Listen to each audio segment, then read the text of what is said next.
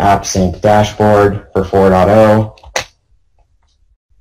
And if we go over into the settings on the upper right hand corner there, you'll see the settings is highlighted in blue since you've clicked on it. And then the storage systems is highlighted. You click add. Here we're first going to discover an XtremIO array. Simply just put in the credentials.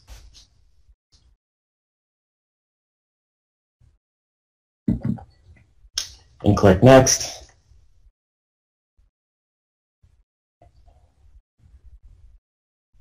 AppSync will obviously discover the array. You can see the system name, which is the serial number, that it's an XtremIO and the firmware version 6.2 that it's running.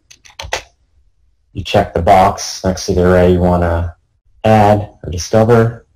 And then you're presented with a summary screen just to verify that everything's correct. And you click Finish. And then you just get the status that the array was configured successfully. And then on the summary screen under infrastructure and storage, you can see that the array is now added to AppSync.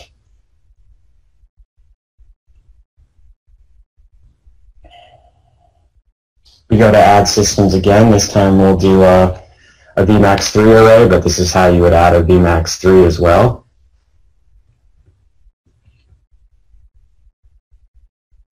Or rather PowerMax as well. So again, just put in the IP address of your U4P server or UniVMAX or Unisphere provider, whatever you want to call it. So this is obviously using the new REST API, and you'll see we have a VMAX 3 1237 running 5978 code.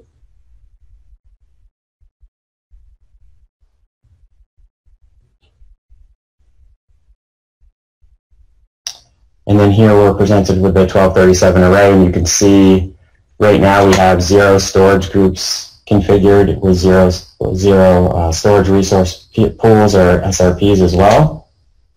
If we click on select for the storage group, you'll see all, we've discovered all the storage groups that are that exist on the array today.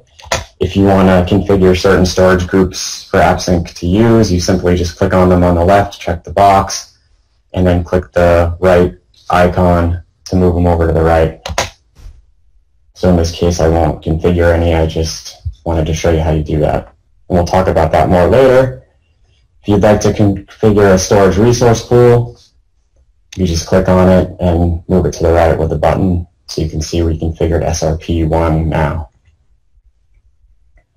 And then obviously you can drop down the arrow and see what you've configured and then the summary screen. And you'll also notice throughout all the wizards in AppSync 4.0, you have you know a series of steps, one, two, three, four, five in this case, so it always shows you how far along the wizard you're at.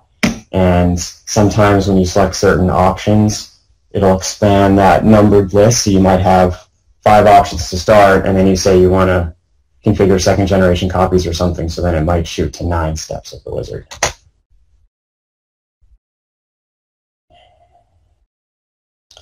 So obviously the VMAX was discovered successfully, and it just lets you know that some storage group discovery and adding that into AppSync might just continue to work in the background.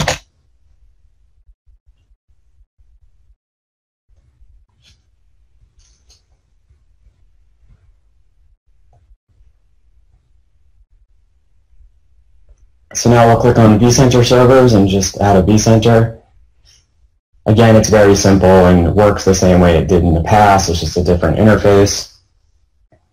So just put in your IP, your system name, and then the username and password. If you uncheck the run discovery now, it just won't do the discovery right away, and then you can just come in and do it later. You'll notice in the background where we clicked add server, that button's blue because it's available. The remove and the rediscover and the reset credentials are grayed out because you obviously can't click those currently. So in many cases, you just have to check the box next to the vCenter or the server, and then those other options are available. So next we'll add an application host. Obviously you select whether it's Unix or Windows. You'll see that the install plugin version is 4.0 with a default port and path. Um, obviously, if you had other versions of AppSync installed, you'd have an option to install a different plugin, but in this case we don't. So we click on Add Host. put in the IP address and the domain and username. Pretty similar to prior versions of AppSync. And then hit deploy, and then you'll see the deployment status, obviously registering, connecting, etc. This usually takes a minute or two to run. I've just sped up the video a little bit so we don't have to wait.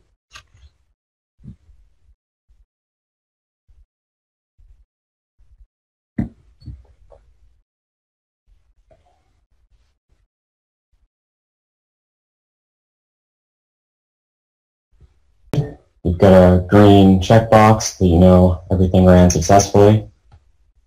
If we wanted to add another host, you can click Use the credentials of the first host for subsequent hosts, and obviously it's here. So you can see on the summary screen, it just tells you the OS version, it's Windows 2016, and when the last discovery was, etc.